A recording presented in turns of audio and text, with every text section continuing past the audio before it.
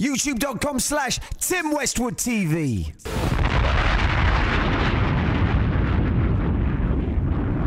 A lot of talk about the Carter Four. Uh, you feel you're going to be jumping on that? Um, I did a, actually. I'm on a few songs that I did with him, but I don't know if they're on the album. Yeah. He got so many songs, man. Yeah.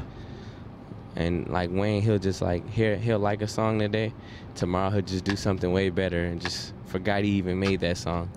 Like he has so many songs just saved up. Hmm. It's crazy. He played me some stuff when uh, in L.A. a couple weeks ago off the Carter Four. He has a he has a record on there with um, this dude named Tech N9ne. I don't know if you guys heard of him. Right. It's crazy. It's crazy. Like I didn't even know like I know Tech N9ne was big like as far as like his his fan base and stuff.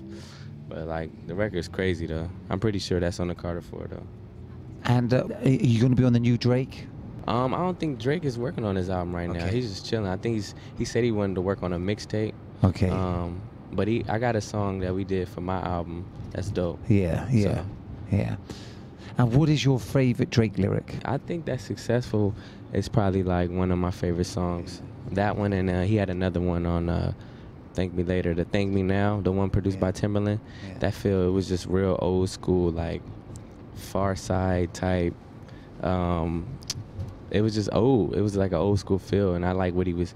He had some great lyrics on that song. Thank Me Now. That's probably one of my favorite songs. YouTube.com slash Tim Westwood TV.